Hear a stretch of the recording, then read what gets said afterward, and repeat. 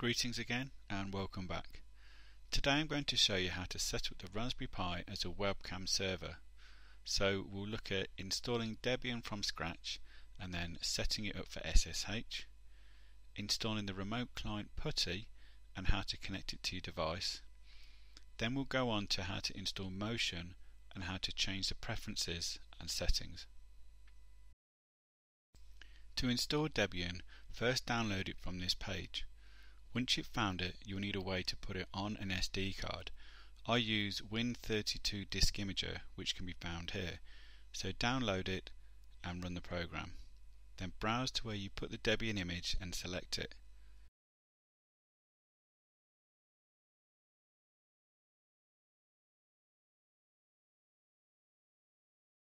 Check you're on the correct drive to write it to and hit write.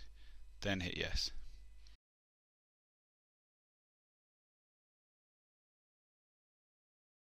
This will take about 5 minutes and when it's done you'll get a notification. Now plug the card into the Raspberry Pi and power it up. You will get the usual startup scripts and it will go straight to this screen. We'll ignore this for now by straight away selecting finish but we'll come back to it in a bit.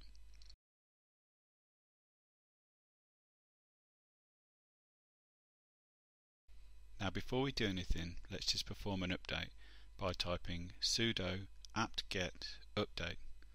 I'll speed this part up.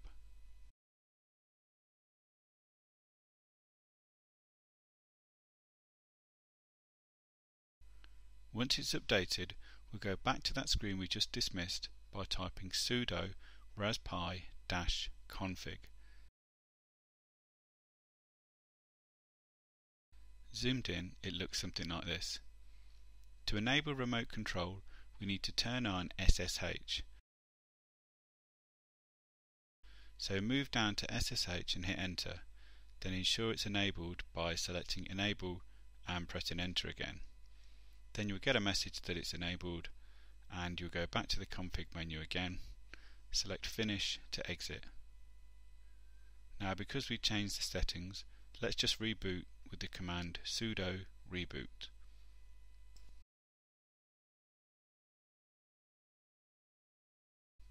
For the next step, we need the device's IP address on your local network. So once it's up and running and you've logged in again, you can type ifconfig, which is the same as the ipconfig command in Windows. It gives you quite a bit of information, but what we're interested in here is inet inetadr this is your Pi's address on the local network. As you can see mine is 192.168.1.82. Yours will be something similar too. So either make a note of it or leave the Pi running. With the Pi still running and logged in, move over to your PC or whatever machine you want to use as the remote terminal and head over to this website. Here you can download the remote client PuTTY once downloaded, run the application and type in that IP address into the box here.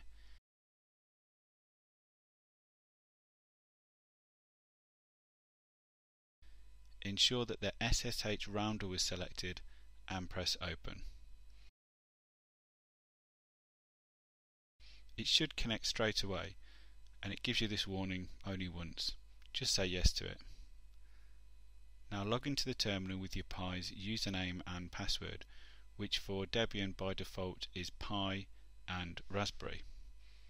We're now connected and I can prove that by rebooting the Pi again.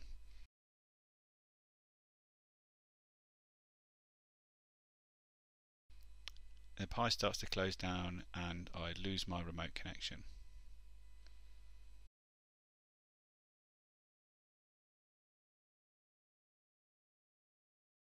While it's rebooting, I'll plug in my webcam and I'm using a Microsoft LifeCam HD 3000 which looks something like this. You'll need a compatible device and you can find these in the list at the eLinux wiki which I mentioned in my first Raspberry Pi video but there's also a link for it below. Now let's get everything back up and running, reconnect and move on to the installation of Motion. So like before, use the command sudo apt, but this time use install and type motion. It will detect the packages and start to download. It'll ask you if you want to use this allocated space for motion. Just say yes. Again, I'll speed this part of the video up.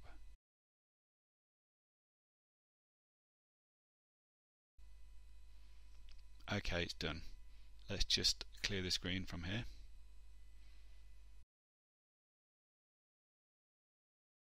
Now we need to set up motion.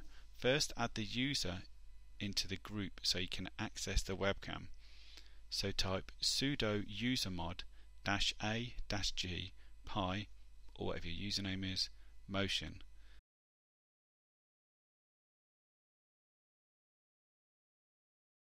and then again sudo usermod dash a dash g video pi again pi here is your username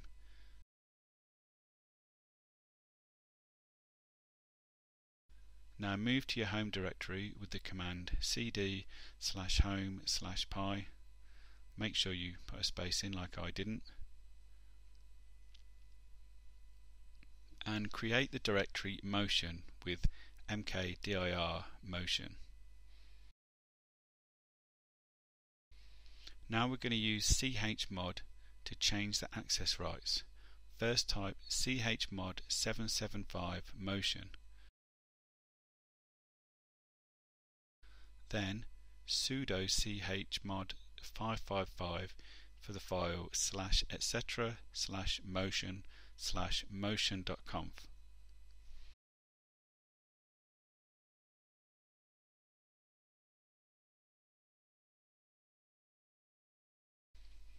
So now we'll use nano to edit that motion.conf file.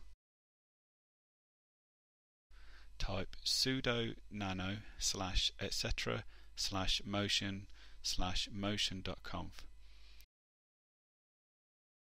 These are the settings that I'm changing it to just for the demonstration, but feel free to explore these settings until you get something that you like or works best with your hardware. First thing to do is to turn Daemon on.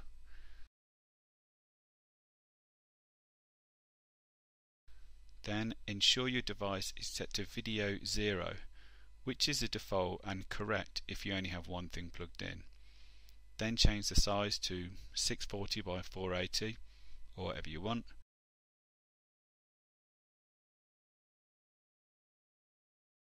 Change the frame rate from 2 to 15 or something more appropriate. Change the webcam quality to whatever you want. For now I'll up mine to 75.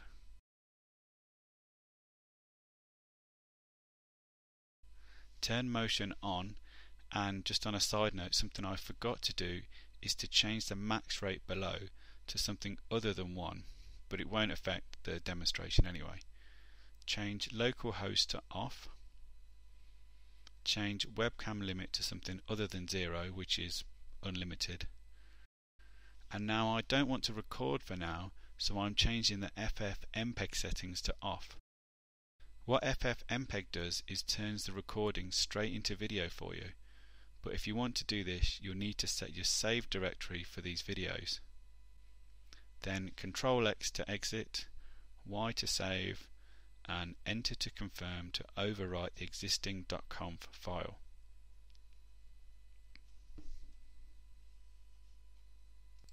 Back in Terminal you can start it up with the command motion and as you can see from this I actually missed something out.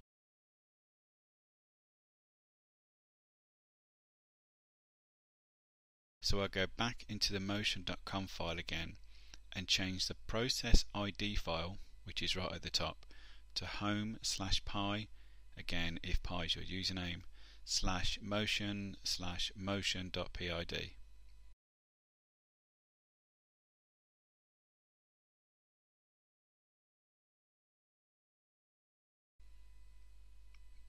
Okay, run the command again. There we go, it's running. Now on your PC, put in that same IP address. Mine was 192.168.1.82 and then put colon 8081.